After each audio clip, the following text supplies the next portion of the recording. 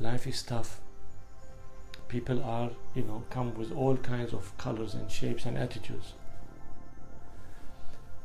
You have to support people as much as you can but your prime loyalty is to your survival and growth.